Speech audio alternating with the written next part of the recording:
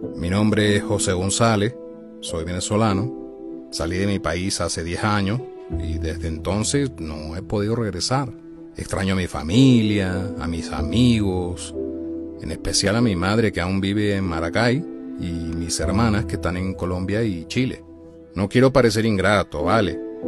Sí, extraño mi patria, pero también estoy eternamente agradecido con México y con los mexicanos que me acogieron desde mi llegada. Un país donde encontré trabajo, donde he podido desarrollarme, donde conocí a mi esposa y donde tengo a dos hermosos niños orgullosamente mexicanos y, y también venezolanos.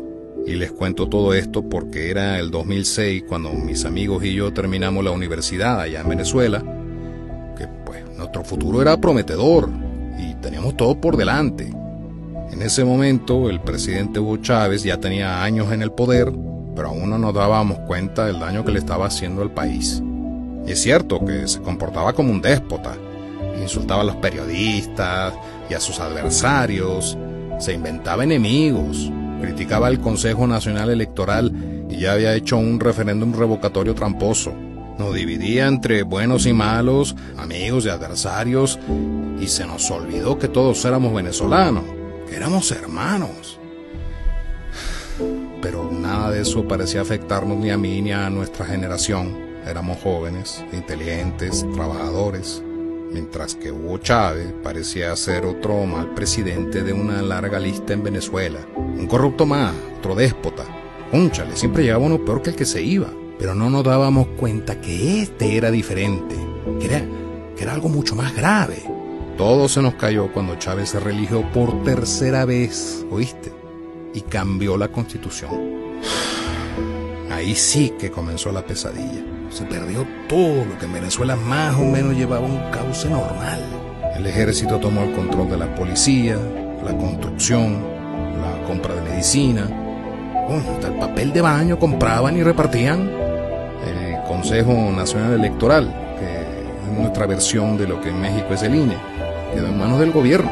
Para aquel entonces mis amigos y yo teníamos un despacho de arquitecto, pero casi no había proyecto y la economía estaba estancada en la crisis del 2008, aquello se fue a la mierda.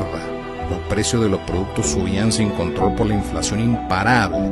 La economía de las familias en ruina.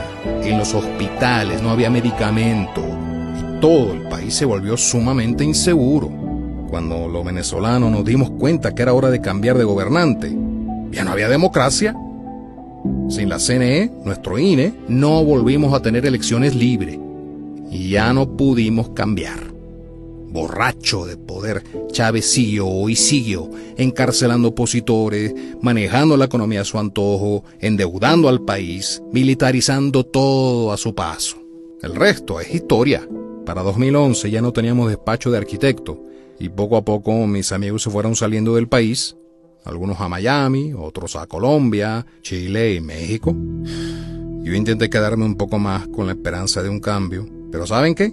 que sin democracia se termina la esperanza y no hay posibilidad de cambio. Por eso le digo hoy a ustedes, amigos mexicanos, no permitan que desde el poder se siga atacando al INE.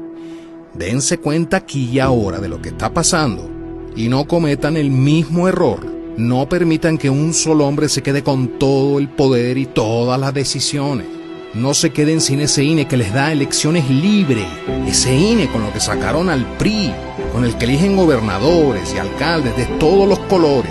Ese INE con el que López Obrador llegó al poder. La democracia es la puerta de entrada al poder y debe seguir abierta, porque también debe ser la puerta de salida. Se lo dice José González, venezolano y ahora también mexicano.